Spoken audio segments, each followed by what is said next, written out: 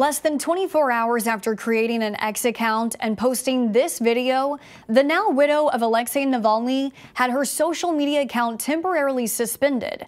X says the suspension was done in error. Yulia Navalnaya's video message went viral, garnering more than 5 million views on the platform. The caption, I will continue the work of Alexei Navalny, continue to fight for our country. Her husband was a well-known critic of Russian President Vladimir Putin and recently died suspiciously while in a Russian prison. Many people, including President Joe Biden, say Putin was behind his death. A message echoed in Yulia's video on X that became unavailable when her account was suspended. News outlets say the account was down for 30 to 50 minutes. News of her suspension flooded the platform, her supporters questioning why her account was unavailable.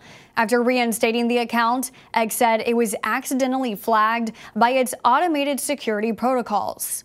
X posted, Our platform's defense mechanism against manipulation and spam mistakenly flagged Yulia as violating our rules. We unsuspended the account as soon as we became aware of the error and will be updating the defense. One of the key moments from Yulia's video is accusing Russia of holding onto her late husband to conceal the cause of death. Navalny's family has been asking for the release of Navalny's body. Investigators have reportedly told the family it won't be released for at least two more weeks.